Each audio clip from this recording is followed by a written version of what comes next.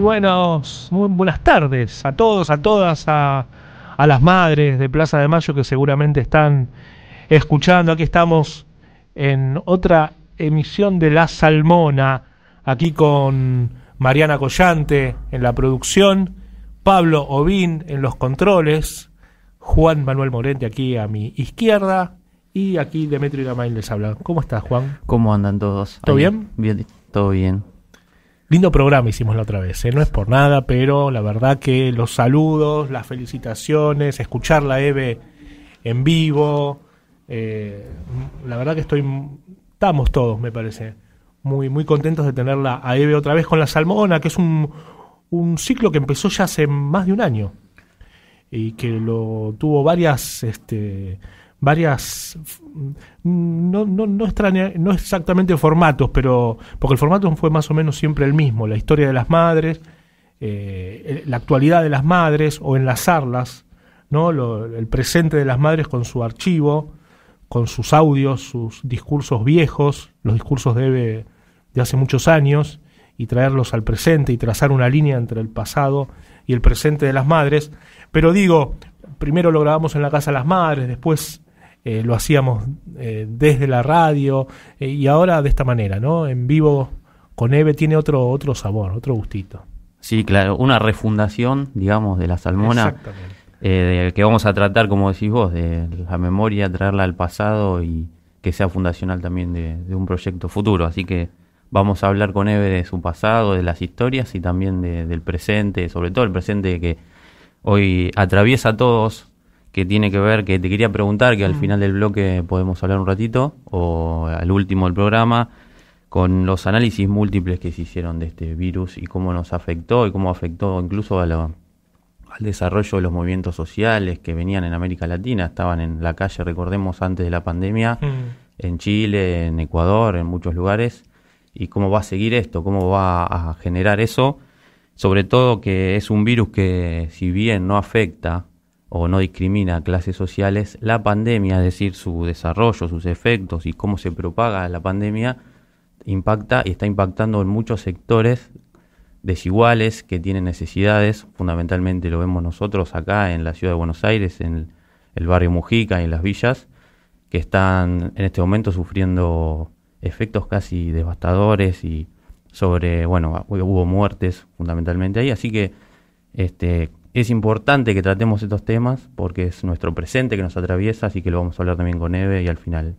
Seguro. Si te parece. Claro que sí. Tenemos algo de.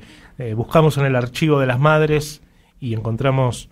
Hay muchos hechos, pero bueno, eh, ya lo iremos contando en el transcurso del programa. Efectivamente, eh, lo que está pasando con la pandemia, que es, es dramático, eh, está muy bien la política sanitaria del gobierno nacional, pero no vemos, no la vemos correspondida con el mismo, eh, con, la, con la misma seriedad con que hay que tratarla por parte de, eh, en principio, actores del, comunicacionales, ¿no? La verdad que la campaña de los medios hegemónicos para destruir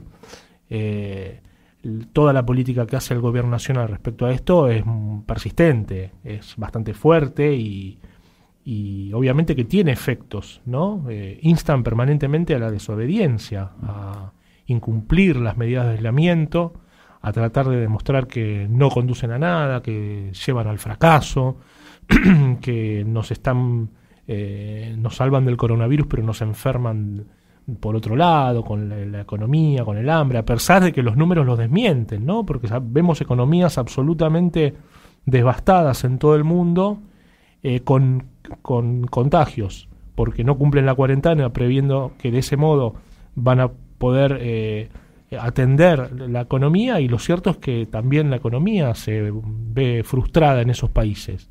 Eh, no es que no, no es que es una o la otra, ¿no? Eh, hay cuestiones muy complejas en ambos en ambos campos. no es que por una se va a perjudicar la otra, que es lo que tratan de instalar forzadamente y con efectos, insisto, muy, muy negativos, ¿no? Porque ya es bastante difícil cumplir la cuarentena, implica un, importante sacrificio social, económico, familiar, eh, individual, personal, y, además que te digan que eso no sirve para nada es, es muy fuerte. Pero bueno, eh, creo que igualmente se está, se está cumpliendo, el gobierno va, va venciendo eh, en esta batalla, los niveles de aceptación de Alberto Fernández, de todas sus medidas son muy altos, claro. el nivel de acompañamiento social a sus medidas de consenso que tiene es muy alto, y eso es lo que los desespera a estos otros comunicadores y políticos también, ¿eh? eh porque no solamente los medios de comunicación, hay actores políticos y económicos Sí, que se fusionan un poco, ¿no? Porque Clarín puso al presidente de la Corte y también habían puesto al ministro de Economía, Dujovne, así que... Tal cual. El poder económico y el poder de comunicación casi que se fusionan. Exactamente. Vos tenías unos numeritos de la, cuestión presupuestaria, ¿no? Sí, había, me llamó la atención, estu, eh, escuché por el diputado Juan Martín Valdés, o Juan Manuel Valdés, perdón, el hijo de Eduardo Valdés, mencionó que el presupuesto de la ciudad de Buenos Aires es igual al de los 135 municipios, al total de los 135 municipios. Por supuesto, son 550 mil millones. La diferencia es que en la provincia de Buenos Aires hay más de 17 millones de habitantes y en la ciudad hay 2 millones. Oh. O sea que recientemente se descubrió incluso eh, un faltante, un desvío de 300 millones, algo así, salió ayer por parte del gobierno de la ciudad que iba destinado a la Villa 31, al, barrio este, Padre Mujica.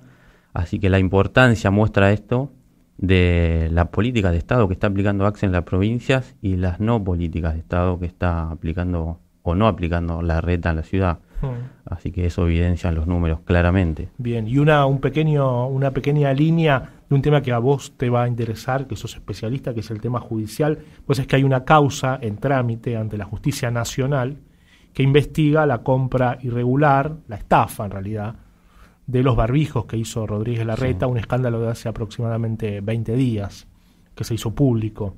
Eh, lo investiga la Justicia Nacional, hay una causa en un juzgado nacional, en lo criminal de instrucción de la, de la justicia de, nacional con asiento en la capital federal que investiga eso. Bueno, hay una eh, fiscal de la ciudad, cuya jefe es Maíquez, el procurador general de la ciudad, que quiere sacar esa causa, pasarla al ámbito de la ciudad e investigarla eh, con la justicia de la ciudad, por jueces y fiscales nombrados por la legislatura y por Rodríguez Larreta. Imagínense eh, el el final de esa investigación, obviamente...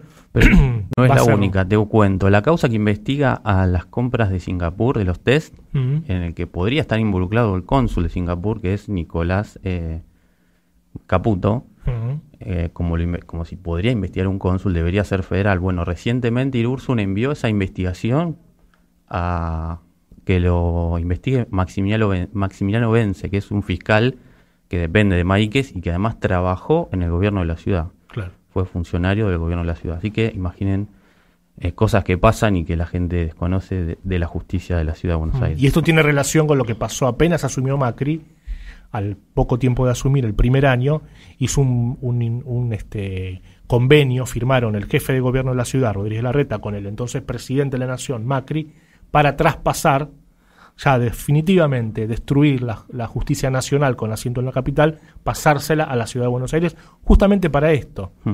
para que los negociados de Rodríguez Larreta no los investigue un, juez y un fiscal nacional, sino un juez y un fiscal de la ciudad nombrado por Rodríguez Larreta. Que es Maíquez que está involucrado en la causa de las mesas judicial que se denunció recientemente, ¿no? Hmm. Así que, esperemos que avance. Bueno, hemos hablado bastante y los oyentes y oyentas y la propia Eve deben estar así esperando. Así que vamos con un poquitito de música, Teresa Parodi, que a las madres a Eve les gusta mucho y es muy amiga de las madres y muy compañera con Pedro Canoero. Y ya cuando volvemos, Eve Bonafini.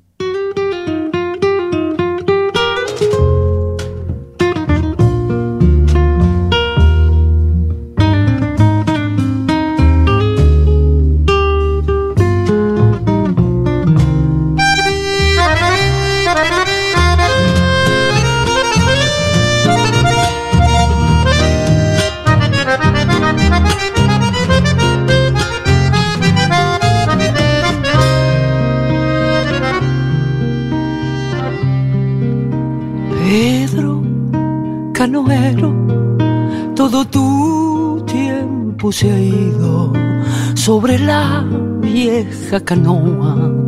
Lentamente te lo fue llevando el río.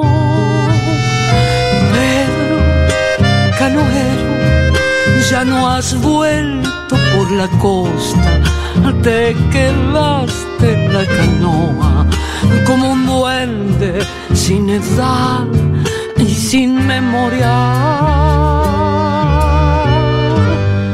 Pedro Canoero de Mesía el agua, lejos de la costa, cuando te dormías. Pedro Canoero, corazón de arrecilla, sobre la canoa se te fue la vida. Pedro Canoero de Mesía el agua, lejos de la costa, cuando te dormías.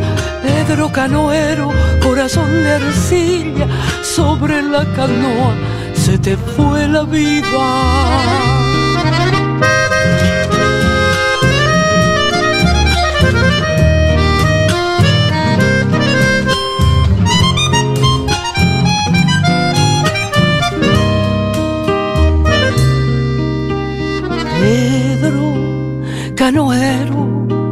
Esperanza se te iba sobre el agua amanecida.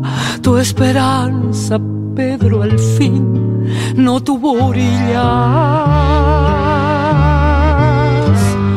Pedro canoero te mecía el agua, lejos de la costa, cuando te dormías. Pedro canoero, corazón de arcilla, sobre la canoa se te fue la vida. Pedro Canoero te mecía el agua, lejos de la costa, cuando te dormías. Pedro Canoero, corazón de arcilla, sobre la canoa se te fue la vida. Pedro, Pedro, se te fue la vida. Pedro, Pedro, se te fue la vida sobre la canoa, se te fue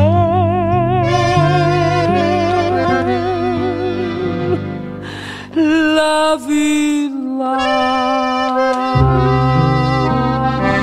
Ahí estaba Teresa Parodi con Pedro Canoero. Eh, estamos en el 11 320 00 530, 11 320 00 530 para todos los que nos quieran mandar mensajes. Los leemos a todos, los vemos seguro. Quizás no llegamos a comentarlos al aire, pero que los leemos, los leemos y muy contentos estamos y después se los transmitimos a Eve y a las madres que también muy contentas están de que, de que las estén escuchando, ¿no? Porque esta es una otra manera de acercarlas a las madres directo, sin, sin mediaciones, para que ellas mismas se cuenten, que es una característica de las madres desde el, desde el primer momento, ¿no? Esto de, de tener ellas mismas sus propios sus propias formas de comunicación para eh, conversar con su pueblo, conversar de donde, con la gente de donde ellas vienen, ¿no? Y que ellas siempre reivindican, que es una característica de las madres desde el, desde el primer momento que salieron, no, no depender de otros para la comunicación, porque cuando dependen se complica, porque cuando está mediada la comunicación de las madres, el mensaje de ellas se tergiversa, se cuenta mal. Y me parece que ahora sí la tenemos a Eve. Eve, ¿estás ahí? Sí, acá estoy. Los escuché desde que empezaron, se vinieron afilados hoy, ¿eh? Ah, Estudiaron toda la semana. Estudiamos, sí. ¿Cómo andás?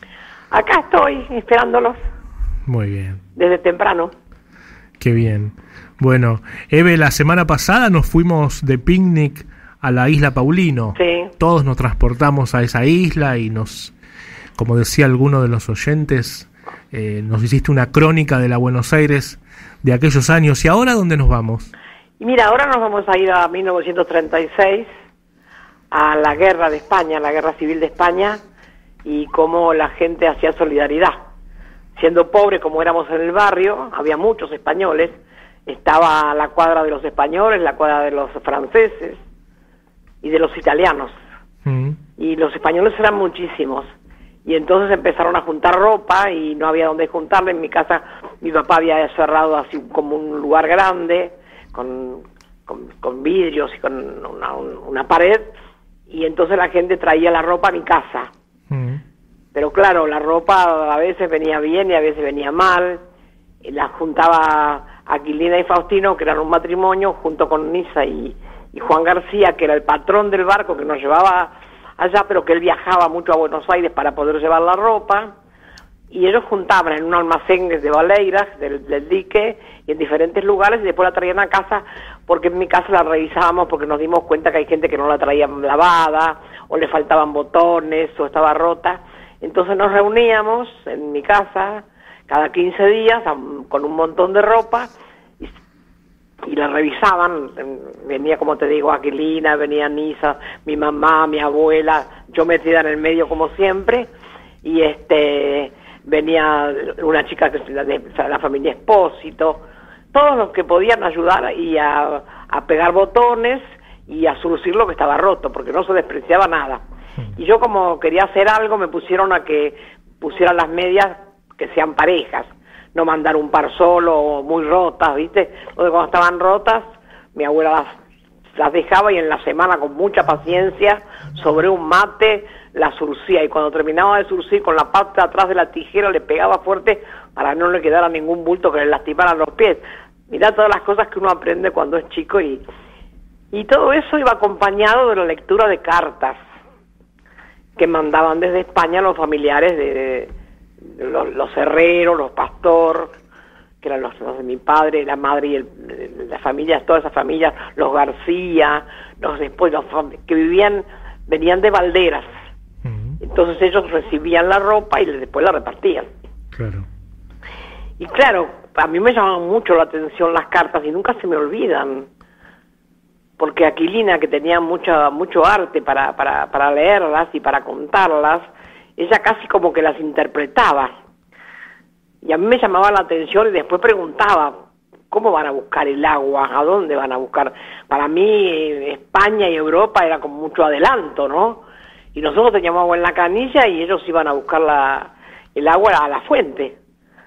Entonces mi papá me explicaba cómo era que también había pueblos pobres y que Valderas era un pueblo pobre y que en la guerra estaban peor todavía que antes, ¿no? Y hasta que vino el agua en Valderas tardaron un montón. Pero ellos tenían, tenían sembrados y también contaban que el majuelo, ¿qué era el majuelo? Era el lugar donde se sembraba.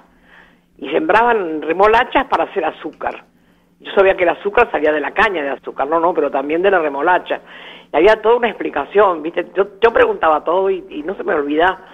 Y las cartas eran tan, tan increíbles. Si la chancha iba a tener cría, ya sabíamos de entrada nomás que el chancho lo había agarrado y la chancha estaba para tener cría. Entonces ellos nos explicaban que las familias vivían arriba, muy amontonadas, y el mejor lugar era para los chanchos, que era abajo. Porque los chanchos eran lo que les daba de comer era lo que ellos después faenaban y vendían. Claro. Además de vender los chanchitos. Y vos te decís cómo van a dormir mal ellos para que estén bien los chanchos, ¿no? Pero bueno, era eso, ¿viste? Eso de, la, de las cartas, llegaba la carta y se juntaban toda la familia para... para... Los que estábamos ahí, mm. los que estábamos ahí en la casa, este, escuchábamos la carta que leía Aquilina. Aquilina. Y Aquilina la leía casi interpretándola. Entonces cuando ella iba con el cántaro se ponía la mano en un costado como que llevaba el cántaro en la cabeza. Claro. Viste que las mujeres que llevan el cántaro en la cabeza llevan las manos en los costados. Bueno, ella con una tenía la carta y con la otra se ponía la mano en el costado. Claro, era como que actuaba la carta. Claro, claro. Si había que subir, ya subía, si había que bajar, ella bajaba. Y después cuando contaba toda la faena de, para hacer los chorizos y los chorizos en grasa y todo, de cada parte del chancho no se desperdiciaba nada y también ella lo contaba, ellos, ellos lo mandaban escrito, largas cartas, eran unas cartas impresionantemente largas, que eh, ellos después contestaban también. Y era como un afán de, de conocerlos, ¿no? De conocer... Y una vez vino uno de ellos, y claro, todos nos, nos llamaba Pablo el que vino, todos nos desesperábamos en preguntas, en esas preguntas que para ellos eran normales. Y vos sabés que Valdera era un pueblo muy franquista, Así que las familias de mis padres no la pasaban nada bien. Claro. Aunque tenían un tío cura que era franquista, por supuesto. Y cuando yo fui una vez a Valderas, este, toda la gente quería ser parienta mía. Entonces nos juntamos en un bar, que es donde las mujeres se juntan a tomar algo al mediodía, y empezaron a venir. No, yo tengo una, una parienta que tiene en Lomas de Zamora o en no sé dónde una zapatería que se llaman Pastor, debe ser tu... No, no son mis parientes. Pero yo me llamo Pastor, sí, pero no soy pariente. Todos querían ser parientes míos, era muy gracioso.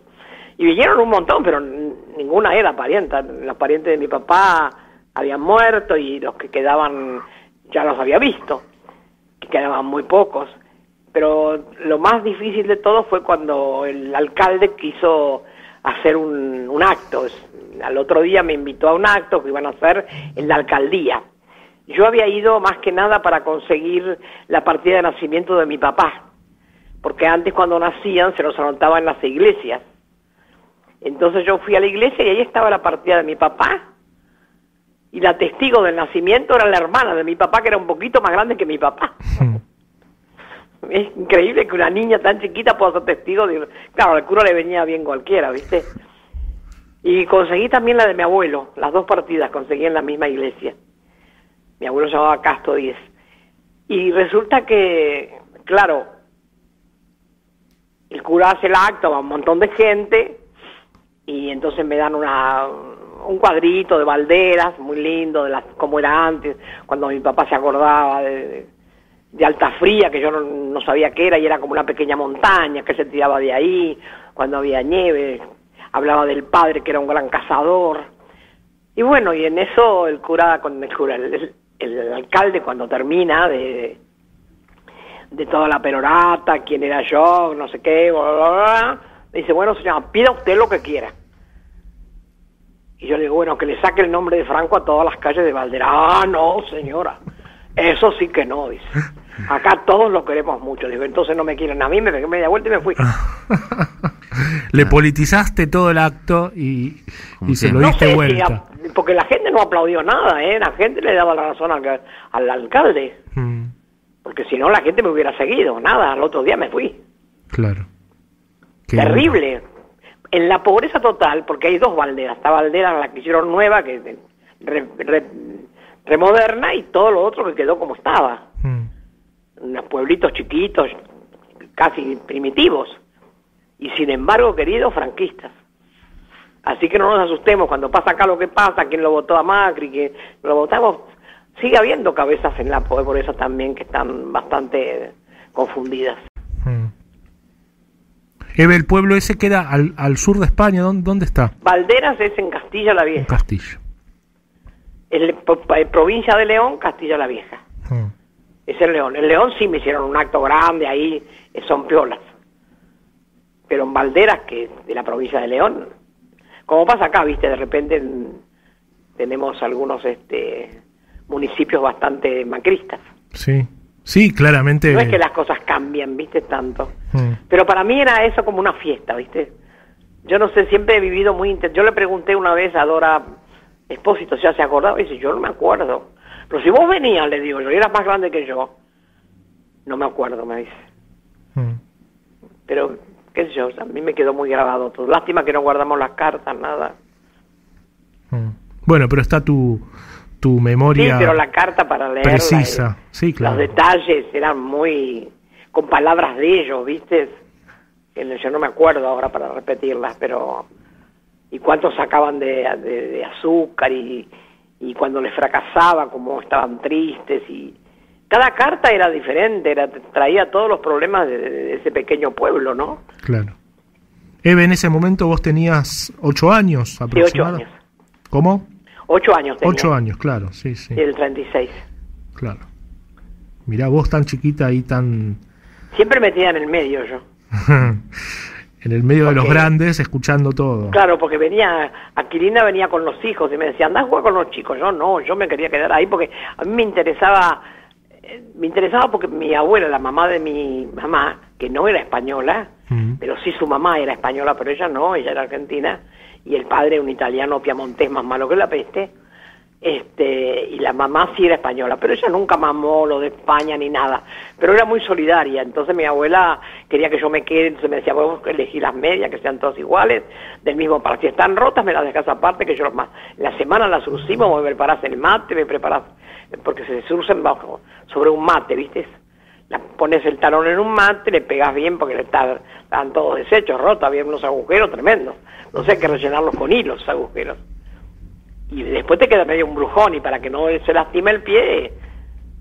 Y entonces yo aprendí también, vos aprendés todas esas cosas. Y para un chico todo eso es novedad, todo eso es trabajo, todo eso es... Y era para que otros chicos tuvieran calzado, tuvieran medias. Y, mi abuela me contaba, ¿viste? para mí era todo una, Siempre para mí esas cosas fueron... Un descubrimiento. Y sí, descubrir y, y participar de cosas de grandes, ¿viste? que en general los chicos se aburren. Claro, no, en tu caso no. Muy bien. Eve, mira, vamos, te propongo, vamos a escuchar un poquito de música, viene la tanda de la radio de la una y media y seguimos conversando, dale. Sí, ¿qué, música eligieron? Mira, vamos a escuchar a Cerú Girán. Charlie García. ¿Alguna vez pónganme Atahualpa, que estuve escuchando el ah. otro día el hijo de Atahualpa? Muy bien. Y escuché unas poesías de Atahualpa y unas cosas que la verdad que no conocía. Vamos a poner. Muy bien. Entonces cuando ustedes tengan tiempo o, se les ocurra, pongan. Porque ha hecho cosas impresionantemente maravillosas. Prometido. Dale. Bueno, bárbaro. Dale, bueno. Escuchamos.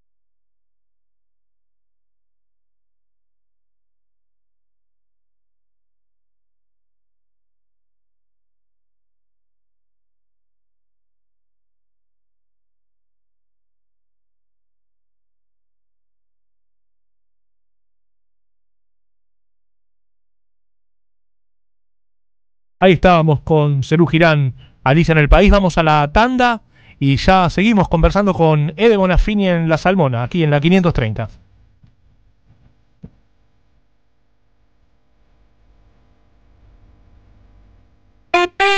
AM530. Somos Radio. Ahora más que nunca, elegí tiempo argentino. Asociate, difundilo, es tu diario, el domingo en la calle está, tiempo argentino. Los domingos en los kioscos, todos los días en la web, gratis, la asociación digital el primer mes. Seamos socios. Argentino. Raw Chicken. Productos elaborados diariamente con la mejor calidad. Raw Chicken. Granja Gourmet. Encontranos en Mariano Castex 769 en Canning. Ezeiza 43893 43893 Raw Chicken. Granja Gourmet. Los lunes de 22 a 24, Raúl Zaffaroni, Jacobo Grossman y José Manuel Martínez hacen Trastienda, la noche de la 530. Somos análisis, somos radio, AM 530. Toma aire. AM 530. Somos humor, somos radio. Toma aire. Las madres, siempre las madres. Eve, siempre Eve.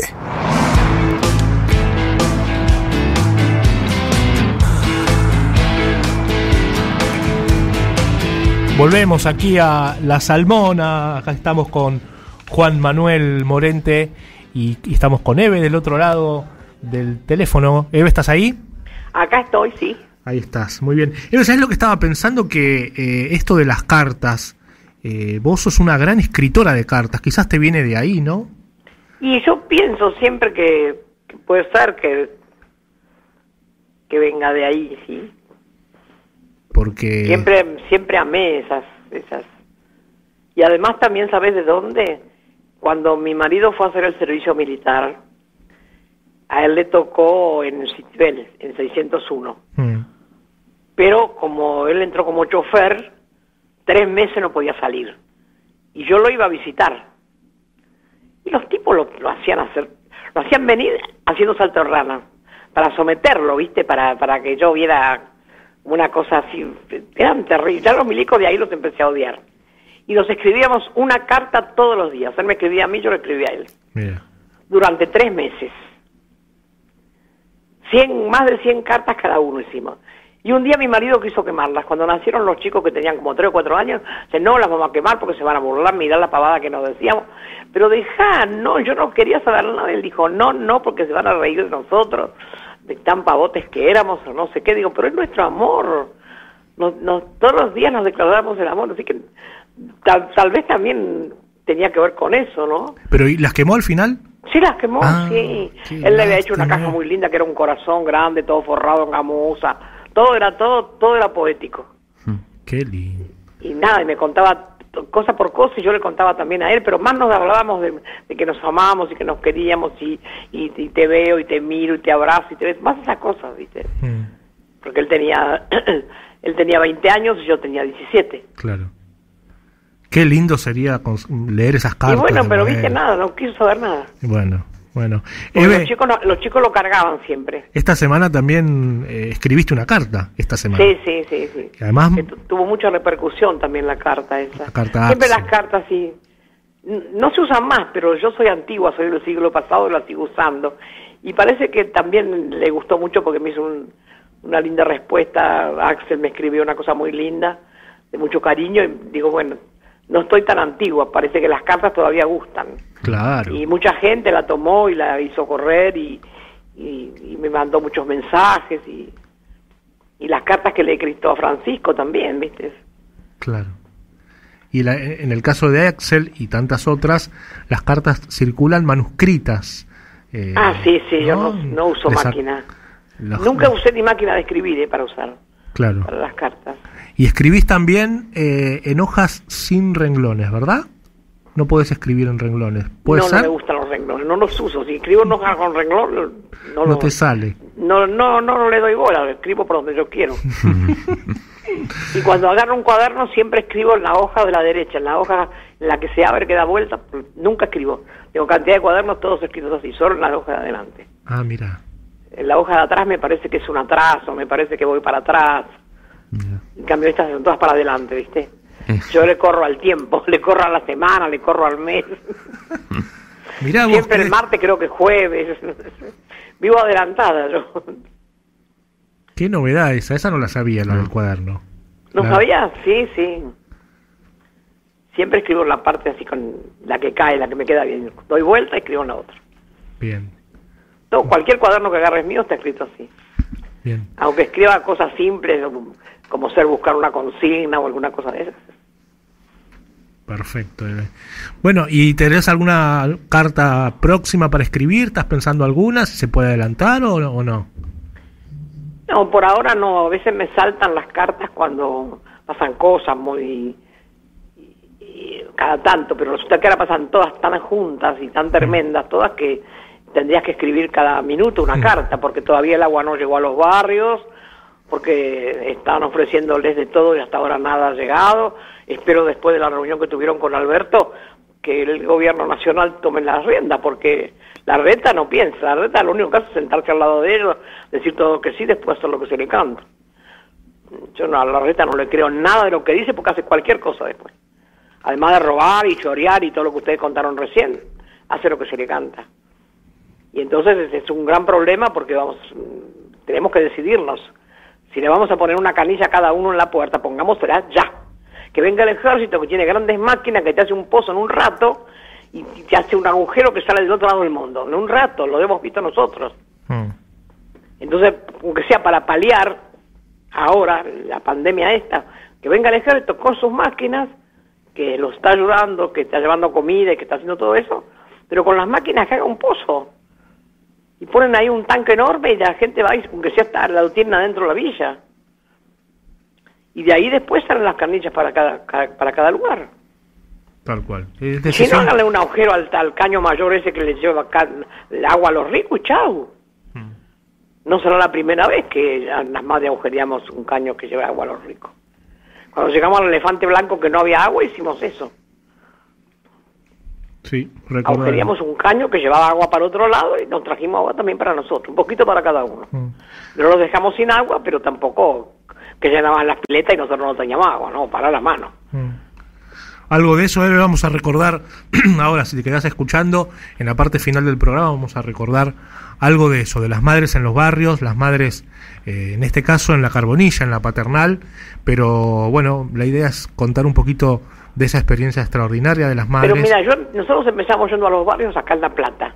Mm, donde los chicos tenían un montón de problemas y había en los barrios y habían hecho, me acuerdo una vez, yo te contaba ayer, una fábrica de, de, de- de Brock y había como un techo y ahí nos reuníamos con frío, con calor, con viento y, y yo y vos veías también la voluntad y también había ya había ollas y había gente que no comía y no, no, empezamos pero casi al principio, principio.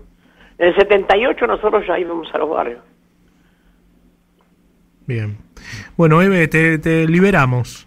Y de No, que regalito... me van a liberar si yo los voy a escuchar ahora hasta que terminen. No me No, liberan bueno, nada. de- de- y después me pongo a estudiar para la próxima. Epa, epa.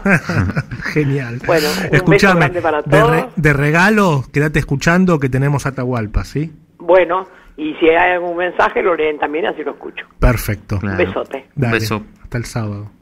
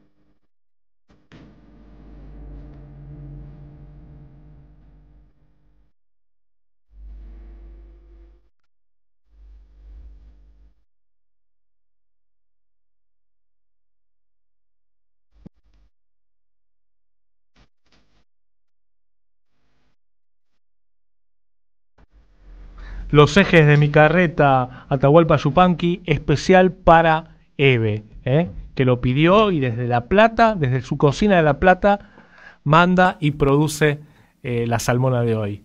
Eh, decíamos que, em, primero, algo importante, que es que para que todos los oyentes sepan esto de hablar y escucharlas a las madres de primera mano directamente, lo pueden hacer, lo pueden hacer a través de las múltiples redes sociales en las que las madres están, tienen un canal en YouTube que es Madres de la Plaza, tienen eh, la página en Facebook, que es eh, Asociación Madres de Plaza de Mayo, una página en internet que es www.madres.org, las tienen a las madres en Instagram, en Telegram, la tenemos a Eve todos los miércoles en Radio Caput a las 10 de la mañana con Javier Corcuera, la tenemos los viernes a Eve en esta misma radio, en la 530, con Andrea Recupero por la tarde, y eh, la tenemos a las madres y a Eve todos los jueves como si estuvieran marchando en la Plaza de Mayo, lo hacemos ahora por las redes sociales y no nos privamos de escucharla a Eve con su discurso todos los jueves a las tres y media por todas estas eh, redes sociales y también el programa en la TV pública que permanece ahí eh, todos los sábados a las 9 de la mañana. Atrás de eso también hay que decir que está el Vasco, el, Vasco, Felipe, Juan, ¿no? Hay una coordinación atrás que que también le ponen voz a las madres y para actualizarlas y que estén vigentes, ¿no? Además de las cartas que hace, este, es otra vía de comunicación. Tal cual, y que están preparando ya, adelanto, una, un programa especial para cuando se cumplan los 2200 jueves. ¿eh? que falta muy poquito, estamos en el 2197, en tres jueves, eh, programa especial que ya el Vasco y su equipo están trabajando a pleno. Em, conversábamos con Eve, recién comentábamos que las madres, eh, esto de eh, sacar la cara y alzar la voz por la gente que vive en las villas, eh, no es de ahora, no es de la carta Rodríguez Larreta de hace 15 días, es de siempre, desde, desde muchos años antes. yo me acuerdo muy bien en el año 96, en enero del 96, cuando el entonces jefe, no se le llamaba jefe de gobierno, se llamaba intendente, eh, Topadora Domínguez eh, quiso desalojar una parte de la Villa 31 para hacer la, parte final de la autopista Ilia, iba a tirar una, una tira muy grande de casas y la gente se oponía y se armó una protesta muy grande y un campamento ahí para evitar el, desalojo y las madres de Plaza de Mayo, Eva y Porota, me acuerdo porque estaba, eh, estoy ahí, decir que está claro, es difícil acceder ahora al archivo de las madres porque está la casa cerrada, pero debe haber alguna fotografía de eso. Eh, las madres aparecieron a las 4 de la mañana en la Villa 31 para acompañar esa, esa lucha, había como una especie de campamento para evitar que venga la policía y si venía eh, enfrentarla, y ahí estaban las madres, ¿no? Eh, y eso siguió, no como Vive dijo antes, ya en plena dictadura, está hablando del 78, 79, cuando las madres hacían las reuniones en una bloguera ahí en, en La Plata. Y, lo hacen hasta hoy ininterrumpidamente. Lo siguen haciendo, ¿no? Lo siguen haciendo. Eh, juntan comidas a varios barrios de acá de la ciudad, e incluso también han intervenido en desalojos y bueno, gente que les sacaba a los los niños en la calle, el gobierno de la ciudad, me acuerdo que también estuvimos ahí, las madres fueron hasta un, un lugar, una casa de hace poco, hace un año, dos años ahí en la ciudad, digamos, cosas que no se saben, pero que las madres eh, siempre están con los ojos puestos ahí en, en los sectores que más necesitan. O que se saben, pero a veces la dinámica de los acontecimientos, y de los hechos eh, y la escasa presencia que tienen las madres eh, en los medios masivos de comunicación hace que pasen por alto o se olviden o se cuenten mal.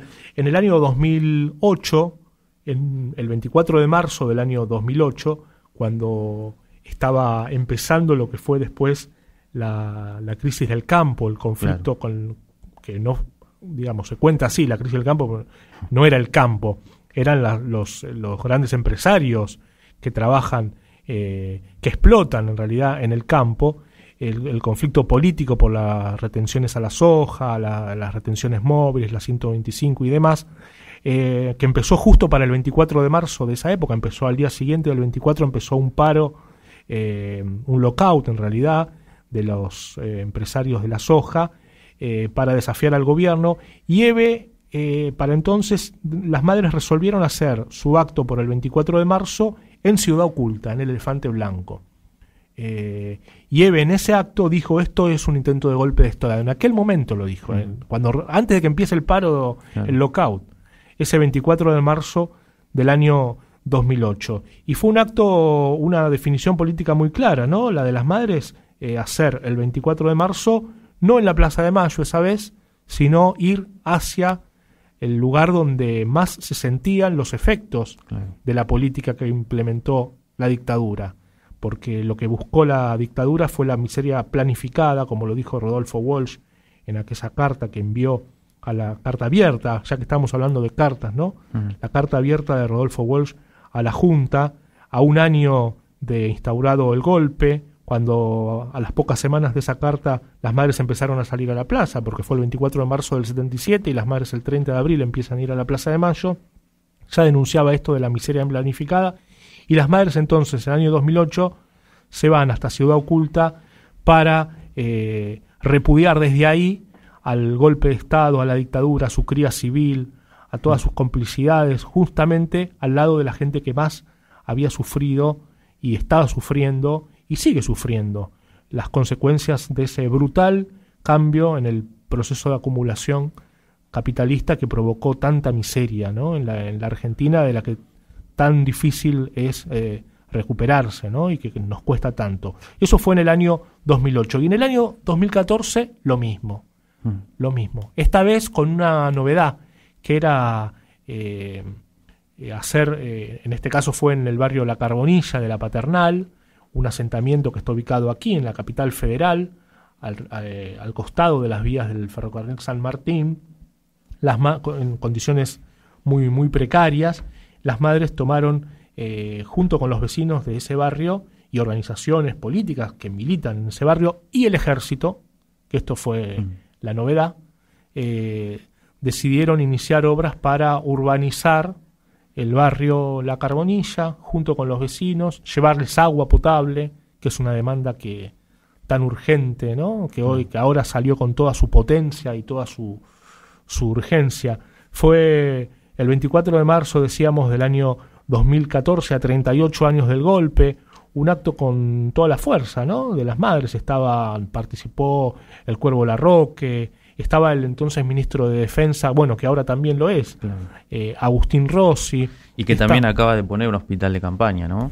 Ahí en militar en, la, Villa 31. Sí, fue parte de las, medidas dispuestas. recientemente. Eh, bueno, eso que fue en el año 2014, hace ya eh, varios años, ahora también vemos la, la urgencia de que se empiece con una política similar, ¿no? Claro. Eh, por suerte tenemos otra vez a un gobierno nacional y popular para que las pueda implementar. Decíamos, estaba el jefe del ejército, César Milani, en ese momento, y estaba Gabriel Mariotto, que participó, y también Víctor Heredia, que fue a cantar ahí eh, para celebrar, eh, para repudiar al, a la dictadura y para celebrar la lucha y para celebrar las respuestas que en ese momento se podían hacer y que ahora también se pueden hacer conjuntamente entre el Estado Nacional, eh, las organizaciones políticas y sociales eh, que militan y los propios vecinos en los lugares donde falta tanto y sobran tantas carencias. ¿no? Pero bueno, eh, esa era la idea para cerrar el programa de hoy, escuchar a Eve en aquel momento, tener ese, ese discurso y ver que seis años después eso sigue siendo un, discurso de gran, gran actualidad y que nos marca la, nos da un, nos traza un camino también para el presente, para el hoy día, ¿no? Para atravesar las circunstancias que hoy estamos sufriendo con esta pandemia, especialmente en los barrios populares. Eh, así que nos vamos con eso, si te parece bien, Juan. Perfecto, nos vamos con eso. Entonces nos vamos con Ede Bonafini, ahí en la Carbonilla, La Paternal, el 24 de marzo de 2014 a 38 años de golpe. Saludamos aquí entonces a Pablo Vin, Mariana Collante y nos escuchamos el sábado que viene. La verdad que cuando pensé hacer esto acá en el, en el barrio, lo pensé desde el lugar de los derechos, de la inclusión. ¿Por qué pensar siempre en la capital, en la Plaza de Mayo? ¿Por qué los artistas tienen que ir siempre a ese lugar y no acá? ¿Por qué los políticos no tienen que venir acá? Eso es una manera de incluir, además de todo lo otro que empezamos a hacer. Yo le digo a los compañeros del barrio que tomen como propio el proyecto, que se adueñen de él, que no agradezcan, no tienen nada que agradecer porque son los derechos que les corresponden.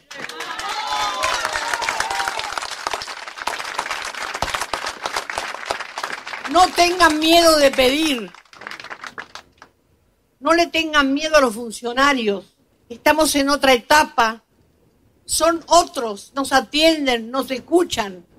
A veces hay que golpear más veces la puerta y bueno, golpeémosla. Cuando hablamos de urbanización, siempre pienso en mis hijos, en nuestros hijos, que tenían un proyecto maravilloso para un hombre nuevo. No lo dejemos de lado. Siempre es posible un hombre nuevo. Toda la vida es posible un hombre nuevo. Y se construye con la igualdad, con la inclusión, como dice Cristina cada vez que hace un discurso. Es muy difícil en 10 años acomodar el desastre. No solo la dictadura nos llevó a lo que nos llevó, también los gobiernos que vinieron después. Porque los gobiernos que vinieron después eran apenas liberales, que piensan nada más que en ellos, en las hojas, en el campo y en las vacas, y en que sus hijos se casen con alguna rica. No te podés cansar de hacer política, porque de la única manera que llegamos a la democracia es haciendo política, y de la buena, de la mejor. Aunque nos equivoquemos a veces, pero de que uno pueda sentir que el otro soy yo, que es verdad, que nos duele lo que les pasa a ustedes, y que a ustedes les puede doler lo que nos pasa a nosotros. Esa es la única manera de enlazarnos, de hacernos fuertes, de hacernos firmes. Ustedes imagínense lo que nos costó a las madres hablar con los generales. No es que no sabemos lo que hicieron los otros militares. No es que no sabemos de la tortura, la muerte, la desaparición y la masacre. Claro que no sabemos. Pero también sabemos el esfuerzo de Néstor Kirchner y de la ministra Garré. Hicieron un trabajo impresionante para cambiar la forma de pensamiento del ejército. Se les dieron clases de derechos humanos a estos nuevos, no a los otros. Pueden empezar en cualquier lugar a estudiar y después pasarse a las Fuerzas Armadas. Tenemos que lograr que las Fuerzas Armadas sean nuestras, no por un ejército popular, sino un ejército para el pueblo y del pueblo. Entonces tenemos que tener conciencia que no hay lucha individual, que no sirve. Yo no le, por más que yo le arregle la casa a una persona, o le ponga la canilla en la puerta de la casa. Los demás quedan sin nada. Y lo más importante en un barrio, y lo mejor que tenían nuestros hijos, es el concepto de solidaridad. Para ellos era lo más importante. No tenían nada, no se compraban nada, pero no les importaba. Ellos lo que querían era hacer, transformar, cambiar. Y el hombre nuevo nace de ahí, de la solidaridad, de dar lo mejor que uno tiene de respetar al otro como lo mejor, de sentir que ustedes son los dueños de este proyecto. No es de nadie, ni de las Fuerzas Armadas, ni del ministro, ni de nosotros. El proyecto es de ustedes. Y no agradezcan nada a nadie, porque estos son sus derechos. Y les voy a decir algo. Entre un milico preso y un niño feliz, elijo un niño feliz.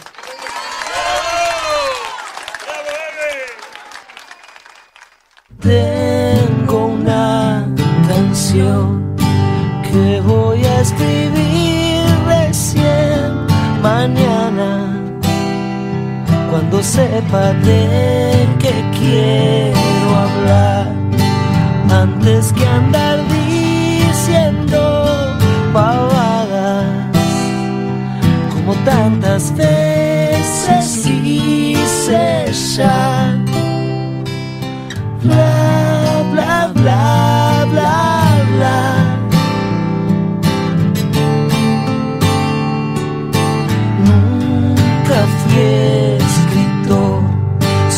Hablé de lo que me emocionaba y todavía yo le canto al sol, al viento, la luz y las montañas. Las palabras vienen hacia mí y sigue siendo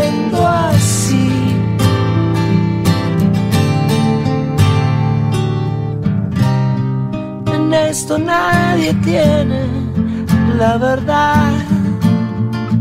La, la. Ningún método es mejor.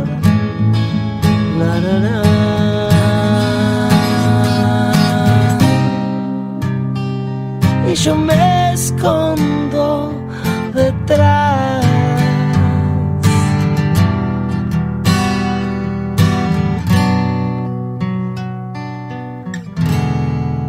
Va esta canción